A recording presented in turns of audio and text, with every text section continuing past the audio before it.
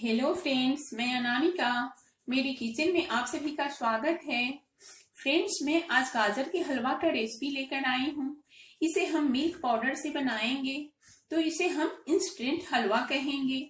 Friends इस recipe को बनाना बहुत ही आसान है और खाने में बहुत ही स्वादिष्ट होता है। इसे आप कभी भी मीठे में बना सकती हैं।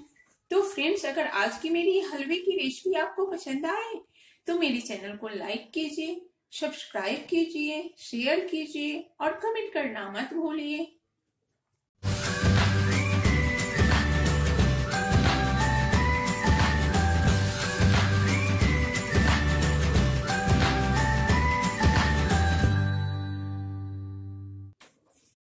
कढ़ाई रखेंगे और गैस को ऑन कर लेंगे।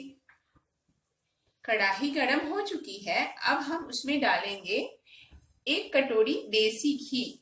देसी घी में बनाया हुआ गाजर का हलवा बहुत ही टेस्टी होता है और हम घी को अच्छे से मेल्ट होने देंगे।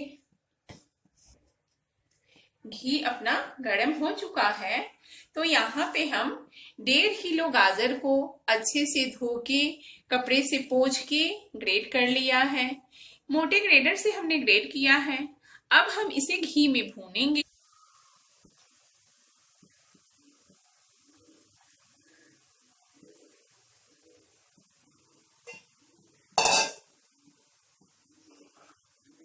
अभी ये ज़्यादा दिख रहा है, लेकिन भूनने के बाद गल के कम हो जाता है। तो हम इसे चलाते हुए कंटिन्यू 15 से 20 मिनट तक भूनेंगे गैस का फ्लेम अभी हम तेज ही रखे हैं। जब अपना गाजर गर्म हो जाएगा, तब हम मीडियम फ्लेम कर लेंगे।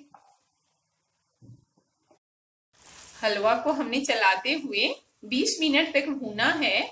तो आप ध्यान से देखिए, इसकी क्वांटिटी कम हो गई है। गाजर के लिए हमने आधा किलो शक्कर लिया है। तो हम इस स्टेज पे अब शक्कर को डालेंगे। शक्कर डालने से अपना हलवा पानी छोड़ेगा और गल भी जाएगा। तो हम इसे अच्छे से चलाते हुए शक्कर के साथ पकाएँगे। गैस का फ्लेम हम मीडियम ही रखे हैं स्टार्टिंग से।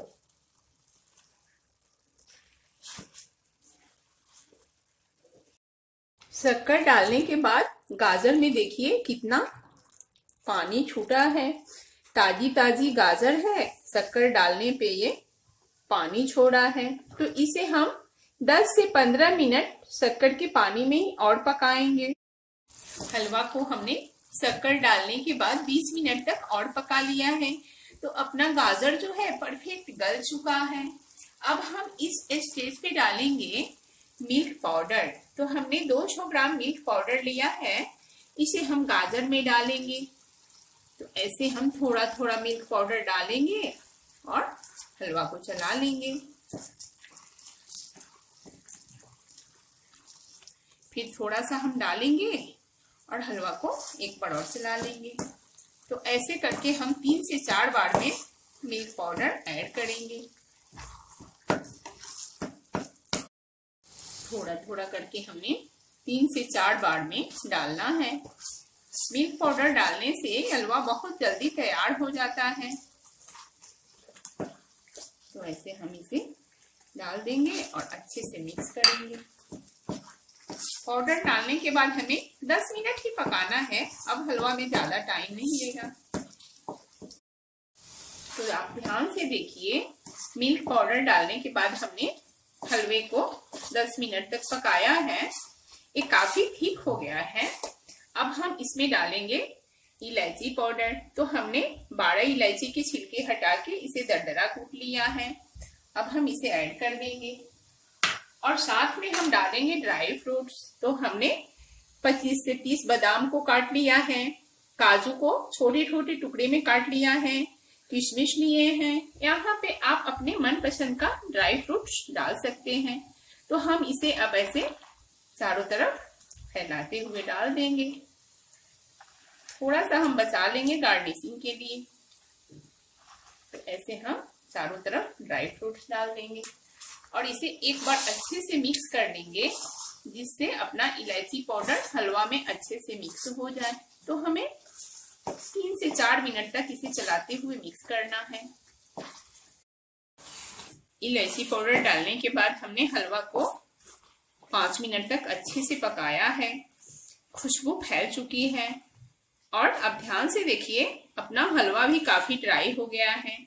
तो अब हम गैस के फ्लेम को ऑफ़ कर देंगे और इसे हम एक कभर से मिनट तक कभर करके छोड़ेंगे। इससे क्या होता है, इलायची पाउडर हलवा में अच्छे से ऑब्ज़र्व हो जाता है। फिर हम इसे सर्व करेंगे। मिल्क पाउडर के साथ इंस्टेंट गाजर का हलवा बनकर तैयार है तो इस रेसिपी को आप ज़रूर ट्राई कीजिएगा। अगर आज की मेरी हलवा की रेसिपी आपको अच्छी लगे तो मेरे चैनल को लाइक कीजिए सब्सक्राइब कीजिए शेयर कीजिए और कमेंट करना मत भूलिए। धन्यवाद।